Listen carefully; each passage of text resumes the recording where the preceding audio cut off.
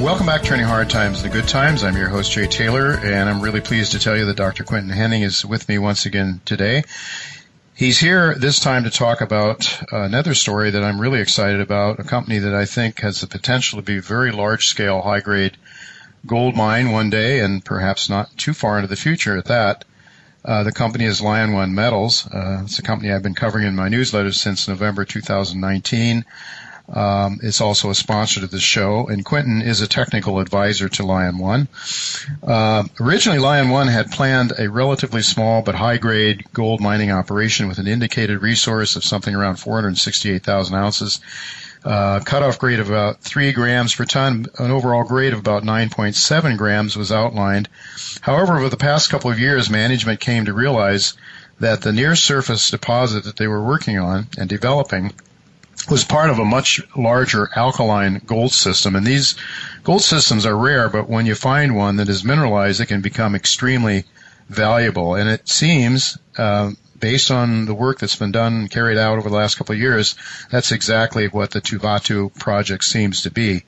Uh, and so, well, COVID has slowed down the exploration at Tuvatu somewhat, uh, but the drills are turning now, and we're starting to get some really exciting news. That's why I'm really happy to have Quinton here with me uh, today. Now, before we say hello to to Quinton, uh, I'd just like to tell you that the shares trade in Canada under the symbol LIO. In the U.S., you can buy them as I have under the symbol LOMLF, 156.4 million shares at around 85 cents in U.S. money, giving it a market cap of around $133 million. Welcome, Quinton, and thank you for joining me again. Thank you so much, Jay.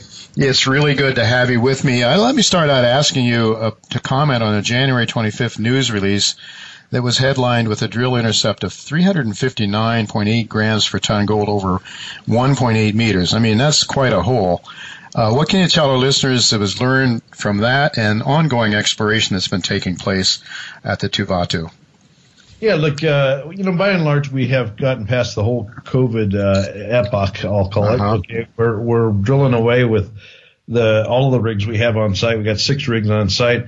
Very aggressive program at this point. They're doing a lot of infill drilling, and why? Because they plan to go mining. Okay, so that's the subject of the news release that came out this morning, and I'll talk more about that in a minute. But to address this news release, those results that you mentioned are from the infill drill program. Uh, the infill drill program is exactly what you need to do as you plan development, plan your, your drives and so forth underground to start opening up some of these areas to go mining.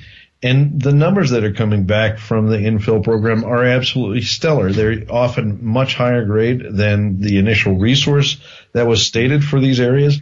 Uh, we're finding more mineralized structures. They're getting better clarity on exactly how these structures are oriented and and where they should go mining. So it's an absolutely delightful outcome. It's not just that number that you quoted, which you know is astounding, but this project keeps delivering high grades. There's like probably a dozen high grade intercepts listed in that news release alone. Yeah. Now the company's also drilling deeper. Okay, they're drilling that uh, 500 zone, which is at depth. That you know, if you think of this like a a tree and there's branches coming off and uh, you know, there is a big high grade part to the system down at depth. They are uh, routinely drilling holes down into that with some of their deeper capacity drill- drills. And it's, you know, it's just a delight to see that start to, to develop a shape. It's actually expanding very rapidly at this point. So what should we expect in exploration from the, from the company over the next few months? Well, it's uh, going to be a mix of both this infill drilling, uh, delivering outstanding results, but also the uh, the exploration that they're doing underneath the deposit. And soon they'll do some other drilling. We've developed a number of targets proximal to the deposit, which will, I think, open everybody's eyes up to the fact that this is likely going to be a multi-million ounce system. Mm-hmm. Well, you uh, this infill drill, drilling, as I understand it, is geared towards a small scale startup production in the not too distant future, potentially. Uh, is can you talk to us about that? Yeah, that's the subject of today's uh, news release. Uh, just you know, to make it absolutely crystal clear, uh, you and I are recording this on Monday afternoon, but the company's issuing a news release, or has issued it uh, as of the, the, airing of this broadcast. Mm-hmm. And it it is, I, you know, I feel guilty, Jay. I really do because this is such an important news release for this company it and I get you know I I feel bad because I'm the guy that gets to say it first. Okay, uh, you know, all respect to Wally. Yes, the team that we've put together there. Um, you know, it's an honor to talk about this today. Okay, they they've made the the bold decision and they've been working very hard in the background to lay out all the plans to go ahead and develop a mine at Tuvatu. Mm. Now, let me tell you a little bit about this. Okay, uh, Tuvatu is a narrow lode, uh, high, very high grade system, as we all know. Uh, and they need to get in there and literally bootstrap a mine. You know, okay, I mean that this is not cowboy grade. Well, who do we have in place? We have a guy named Patrick Hickey, who I've known for many years and worked with. He was at Newmont. Uh, he basically built and ran Batu Hijau, one of Newmont's biggest mines. Uh, which was located in Indonesia. He mm-hmm. also worked for companies like Sumitomo and built Ambatovy, which is a, a nickel operation on Madagascar. And he's look, he's run mines and built mines all over the planet. The guy knows how to do this in his sleep. Uh, he has put together the plans in the past six or seven months that he's been employed by Lion One, and they have made outstanding progress. You know, while he's given them a green light to get this thing going. So uh, what are the highlights in this news release? Well, you know, as we know, this is a fully permitted uh, mining operation. The Tuvatu license is permitted. Production permits are in place. All right, that's very important. The engineering and procurement of a, of a basically a mill, a gold recovery plant, is now underway. So they are uh, actually working out the designs, finalizing the de- designs, I should say, and they're going to have that uh, contract in place. And why? Because they want that thing delivered and installed sometime around the third quarter 2023 so that they can actually uh, start gold production by the, the end of Q4 2023. So end of 2023, that's their target date. They've also selected the international mining contractor for the project. In fact, they're mining. Okay. They're, they're, they're, when I say mining, they're blasting rock and putting the, the new portal in. Um, people can see a picture of that in the news release. This is absolutely delightful to see the company make this move. Uh, this is, by the way, a secondary portal. There is a historic portal and decline on the in the project right now, but this one is a very important component uh, that's going to be needed for developing this, uh, you know, this near-term mine. Uh, they're also ordering, you know, the basic equipment like crushing equipment, so forth, and it is now uh, shipping to site. Uh, they've also got most of their mining equipment uh, either selected, purchased, or shipped, being shipped to site. So these are all big items, but they're they're going along here. They're making this go. They've got their contracts for the water power tailings and explosives, as well as communications uh, secured or in progress. Okay, and, and they've got uh, you know these sound like a bit mundane things, but they're not. They got no. their e- e- ERP and, uh, implementation sure. underway mm-hmm. for accounting and supply chain and all the things they need in Fiji. Look, this is a bold step. Uh, this is, you know, the target here is to start with a 300 ton per day operation. Mm-hmm. But the key is this uh, operation can be scaled up. Okay. This is a, a, a dynamic story that's going to grow and they can easily scale this up to a thousand tons per day this is an outstanding outcome. I mean, you know, this com- company could go from uh, having a, a, you know a nice high grade resource and you know having we'll call it a small scale mine, you know, for lack of a better term, to actually what would turn out to be a very significant gold mine, you know, in, in this day and age. I mean, thousand tons a day. Uh, you know, we're talking 360,000 tons a year. Mm-hmm.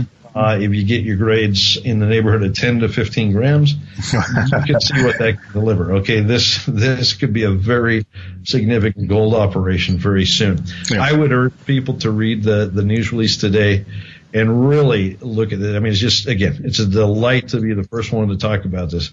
But I think this is uh, they're going to make it go. They're going to make it work. Mm-hmm.